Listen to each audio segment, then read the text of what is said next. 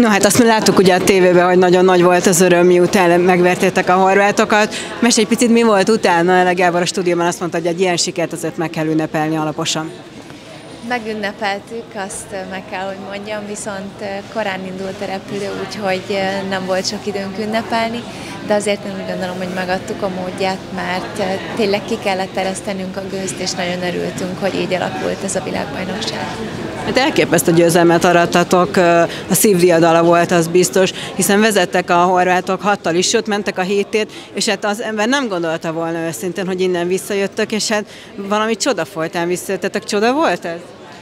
Igen, én azt gondolom, hogy csoda volt, mert valóban voltunk hat és majdnem hét gólos hátrányban is, ami mondhatni, hogy a mai kézilabdában azért ledolgozhatatlan, hogyha már a végjáték felé közeledünk, de a szívünk végig a helyén volt, és mindennél jobban szerettük volna ezt a győzelmet. Kellett hozzá eddig mindenkinek a jó teljesítménye, úgyhogy nagyon örülök, hogy csapatként jól funkcionáltunk, és hogy a végén szerencsénk is volt, és, és tényleg segítettek minket odafentről.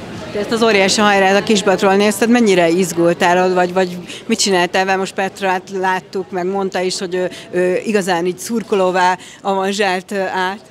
Igen, én is abszolút megpróbáltunk a kispadon is örülni minden egyes momentumnak, és segíteni a lányokat, mert az első fél időben én is tapasztalhattam, hogy mennyi erőt tud adni, hogyha kispadról a társak segítenek.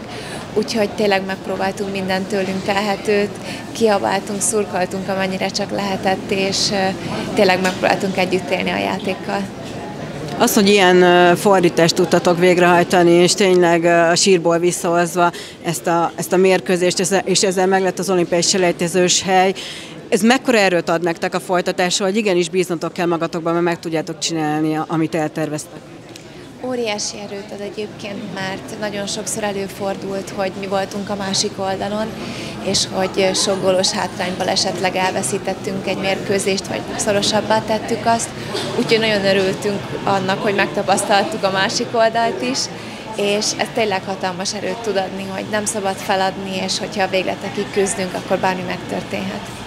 Azt hiszem, hogy még szerencsések is vagytok ezzel a tizedik helyen, mert ahogy nézzük, nem rossz ez a csoportbeosztás, ami majd jön az olimpiai selejtezőn. Nyilván Japán nem írható le, láttuk az eredményeiket a csoportban, illetve a, más, a középdöntőben is, de Kamerun verhető, és hát Japán ellen is ott kell lenni. Meg, hát meglátjuk, itt kapunk Európa, az európai csapatok közül. Mennyire vagytok bizakodók a selejtezőt illetően? Így első körben nagyon-nagyon örülünk annak, hogy selejtezőt játszhatunk, mert ez úgy gondolom, hogy óriási dolog, és ezért jöttünk, és ezért küzdöttünk.